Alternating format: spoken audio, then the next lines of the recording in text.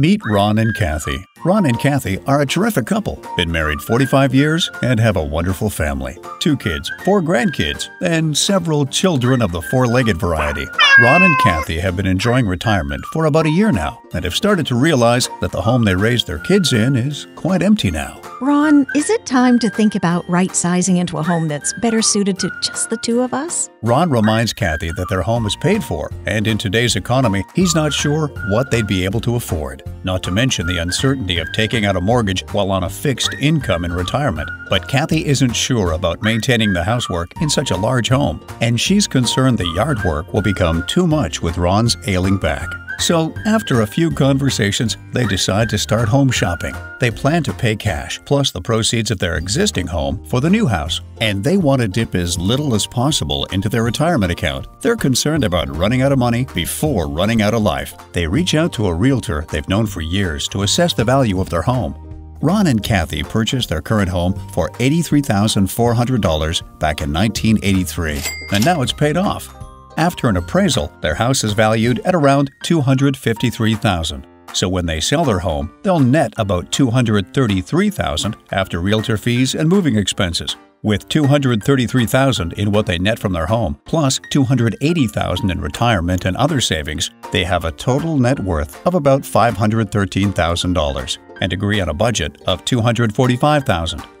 Ron and Kathy begin making a checklist of everything they're looking for in a new home, understanding there may not be room in the budget for upgrades. Kathy loves to cook, and a roomy kitchen with granite countertops and stainless steel appliances is a must.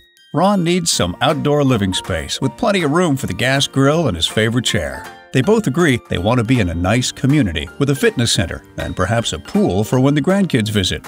After visiting a few communities with their realtor, Ron and Kathy are certain they've found their forever home until they see the price of the home listed at $345,000. Quickly, their excitement deflates. But that's more than $100,000 over our budget. We could never swing that without taking out a traditional mortgage. Their realtor tells them there are other options. She goes on to talk about a loan program designed just for buyers aged 62 and up. She informs them this federally insured program was signed into law back in 1988 by Ronald Reagan to help seniors plan for longevity.